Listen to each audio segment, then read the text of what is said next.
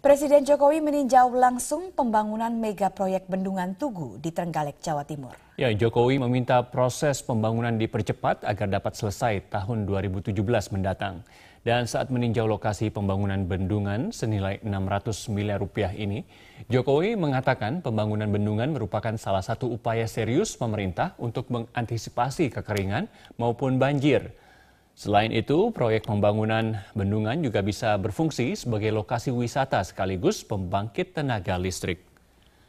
Bendungan yang ada di perbatasan Kabupaten Trenggalek dengan Ponorogo ini diharapkan bisa menjadi sumber irigasi untuk 12.000 hektar lahan pertanian di wilayah Trenggalek hingga Kabupaten Tulung Agung. Kemarin kan masalahnya di pembebasan. Ini pembebasan Pak Bupati, Pak Gubernur sudah memberikan jaminan lancar, nggak ada masalah ya sudah dimulai dan progresnya kelihatan.